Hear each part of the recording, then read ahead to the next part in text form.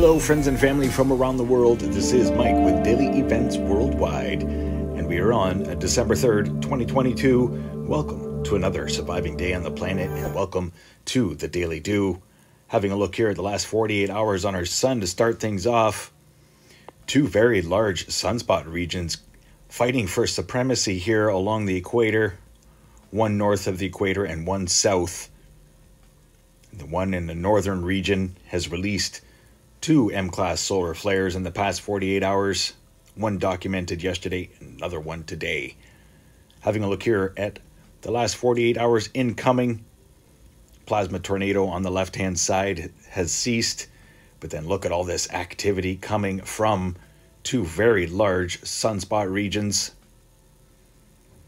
Having a look here, outgoing,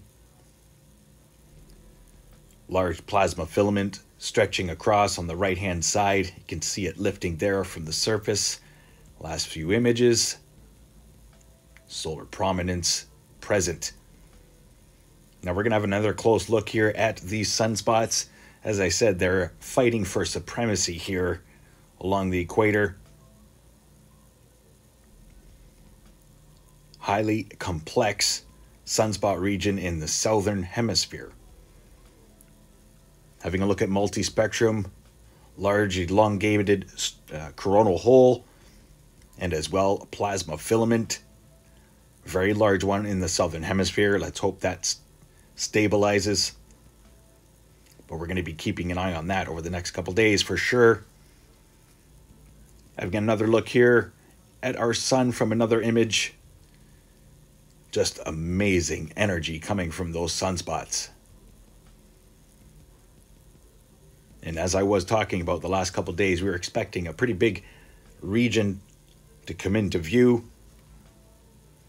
And it looks like we've got two of them.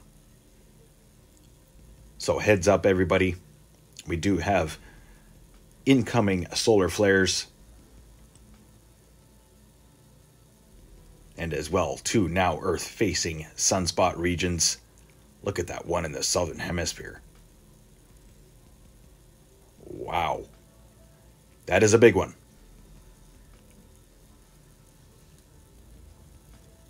Having a look here at the solar X-ray flux, as you can see, M-class solar flare just recently, Earth-facing position. We're still expecting a space weather event by the 8th. Heightened telemetry here, almost in C-class range. Geomagnetic activity has calmed down a little bit, sitting at KP3 Solar winds have slowed down a little bit too, sitting at 529 right now, still above average.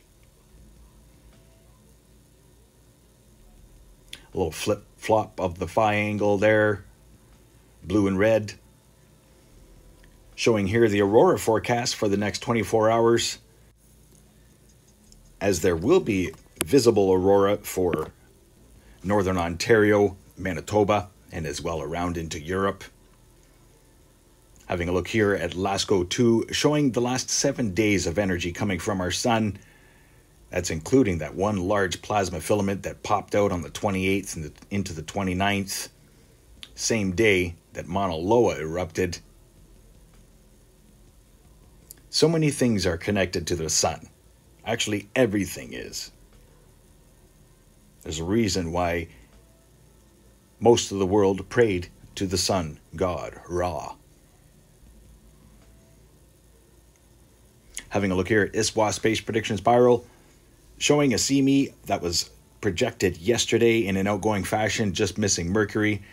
But then we have another one here with the most recent solar flare, not in an Earth facing position, but look at all that energy whipping around from that sunspot region. Probably expecting that into 13th into the 15th of December. Schumann resonance for today is a power of 7. Yesterday was a power of seven as well. So some good energies floating around here, quality of nine. Having a look at the last 24 hours for earthquakes across the planet, brought to you by Walton and USGS. Got quite a bit of activity still here in the Tonga region. And as well, Vanuatu, Deepest earthquake today, 526 kilometer depth, 4.4. As well, Kermadec Islands still seeing activity.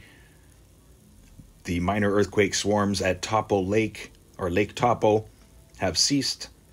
Then, the largest earthquake today at 5.7, Banjar, Indonesia. That was on land. A lot of people reported feeling that.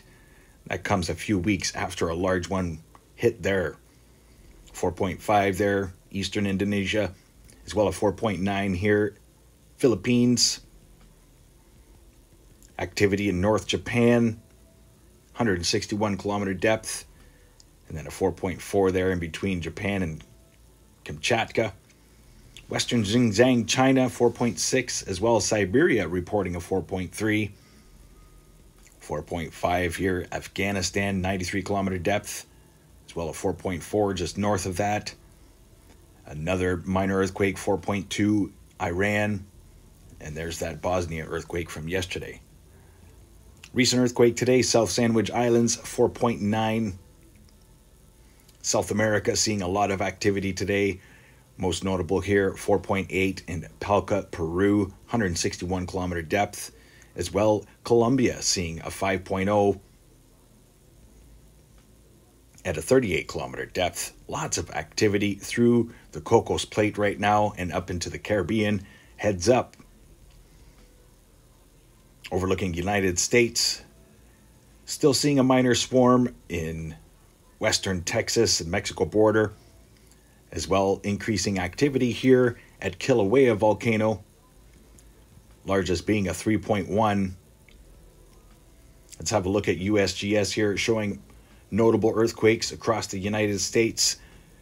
Eton, Missouri, as well Madison, Missouri. Overlooking United States, no major swarms to talk about. And then overlooking Hawaii we'll show you here the most recent activity up in the caldera of Kilauea and around the outer rim. Also, give you a quick thermal image here of the lava lake in Kilauea right now. Things seem to be softening up across this view right now. Keep an eye on Kilauea. Also wanted to show you here ESMC data for earthquakes, minor activity through Iceland, and as well Canary Islands.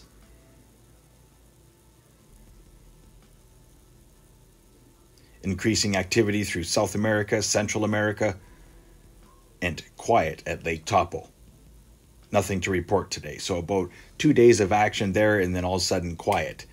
Gotta wonder what's going on there. A lot of earthquakes just north there through the Kermadec Trench. Gonna leave you here looking at the last seven days for earthquakes across the planet. As right now we're sitting at an average about 250 across the USGS map. We have not seen a large earthquake all week. Expecting something big. Really big. So heads up, stay aware and prepared, and be ready and much love. Thanks for watching today. This has been Mike with Daily Events Worldwide. If you made it to this far in the video, I thank you all so much. Stay aware and prepared, stay young and have fun, and get your daily due. See you next video.